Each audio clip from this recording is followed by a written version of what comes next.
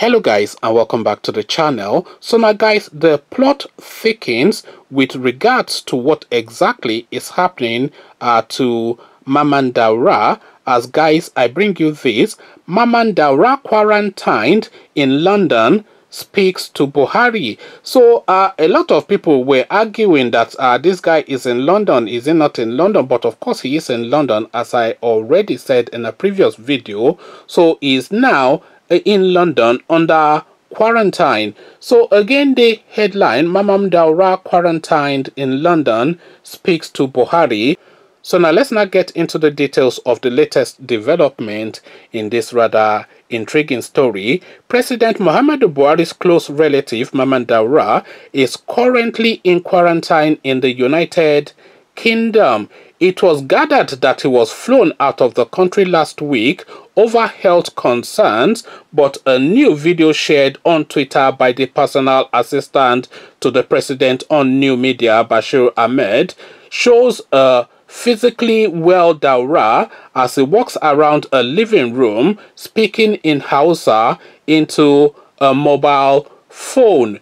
He was speaking with President Buhari, assuring him that he was in good health. A translation of Daura's end of his telephone conversation in the video attached to the tweet reads as follows The governor came the day before I left. He came on condolence visit in respect to Samaila Isa Funtua.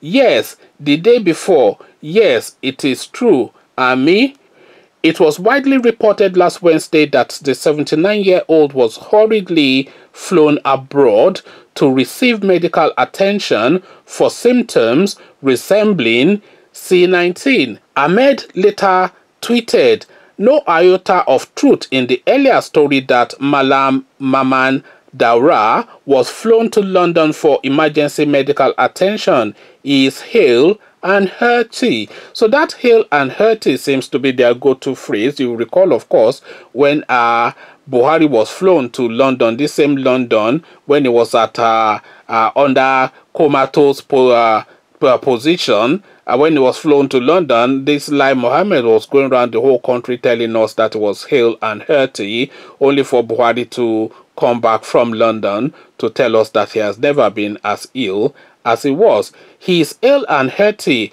Nigerians should disregard that story. Daura's son also debunked the report, stating, Our father, contrary to all the noise out there, was not rushed out as an emergency.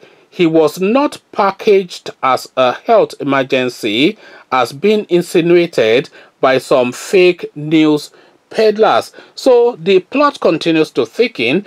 he is in London, we know that. He's in London, uh, uh, even though there's uh, travel restrictions uh, within Nigeria, we know that.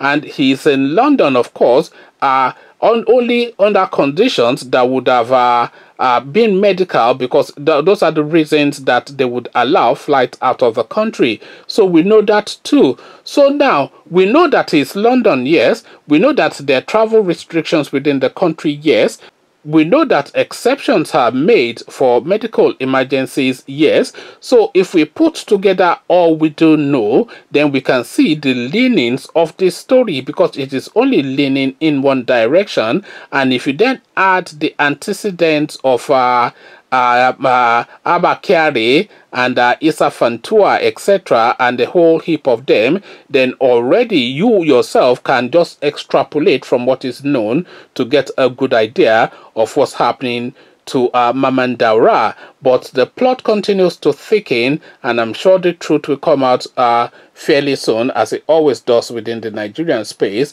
Luckily, they were able to get him to London because, of course, the medical services in London are second to none.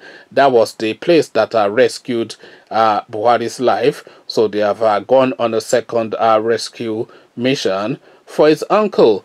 Conversations in the comment section, the plot continues to thicken regarding the state of health of Mamman Daura, the president of Nigeria's uh, relative. Come share thoughts. So I'll leave you here. Carry this conversation on with you in the comment section, but here I say peace.